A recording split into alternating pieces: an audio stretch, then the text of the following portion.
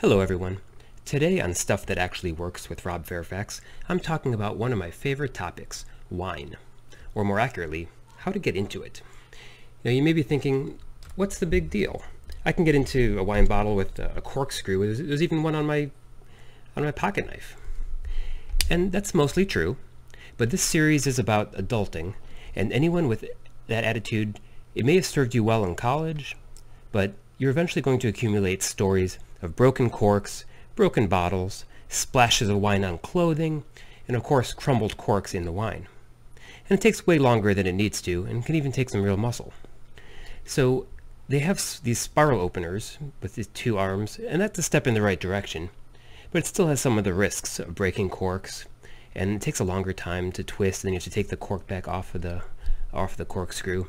None of that's what you want to be fussing with during a dinner party or an entertaining. And even if you buy cheap wine now, you may someday up your game and have wine that you don't want to spoil. And I also used to work in a restaurant myself back in the day in a bar, and we used to use this type of opener. And this one takes uh, definitely takes some some skill as well. It takes a few uh, ratchets back and forth. Got to twist it in a little further and, and work it a bit. But at the time, we were working for tips and a little effort that could actually pay off. So that's not a great guide either. So what actually works? Well, we're going to look at um, the product that served me well for many years, the uh, Le Creuset Screw Pull Lever Style Wine Opener. So let me show you how that works.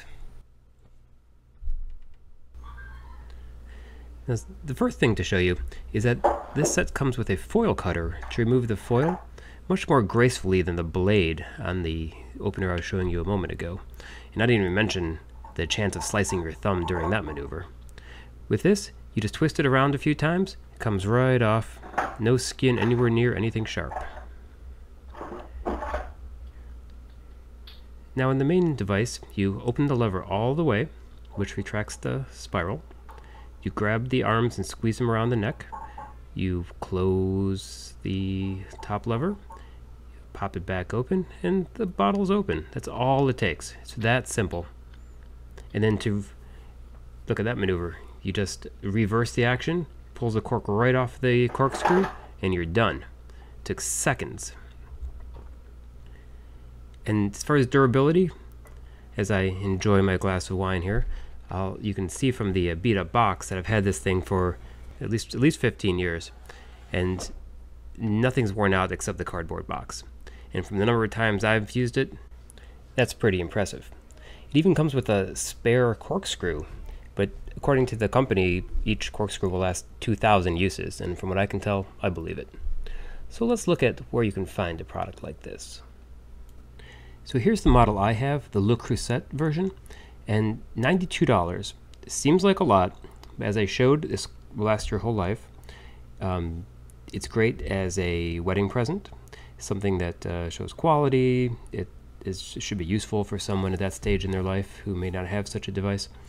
Um, however, I found a, another version that is significantly cheaper, and it looks the same.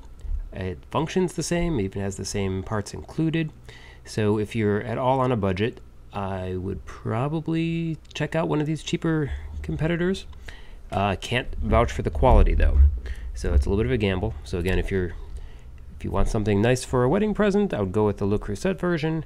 If you are looking for something a little cheaper that gets the job done, uh, go for various other ones like this one here on Amazon for $26. So that's going to wrap us up for today. Can you please do me a favor and click the like button below, as well as subscribe to my channel. Leave some comments. If you really enjoyed it, even share it with your friends.